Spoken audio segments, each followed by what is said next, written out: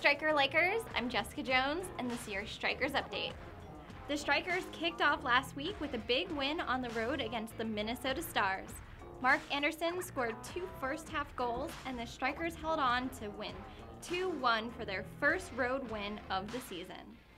Mark's double gives the rookie nine goals this season.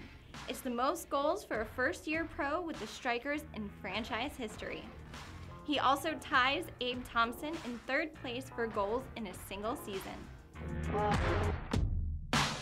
The Strikers capped off the week traveling to San Antonio to face the first place Scorpions.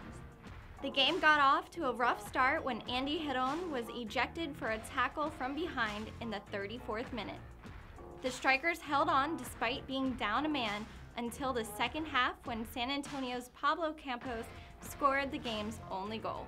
The Strikers return home to Lockhart for a match against the rejuvenated Atlanta Silverbacks under new head coach Eric Wynalda.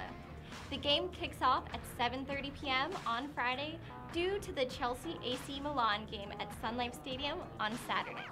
Remember to like this video and subscribe to our channel so you'll never miss a highlight from the Strikers. I'm Jessica Jones. See you next week.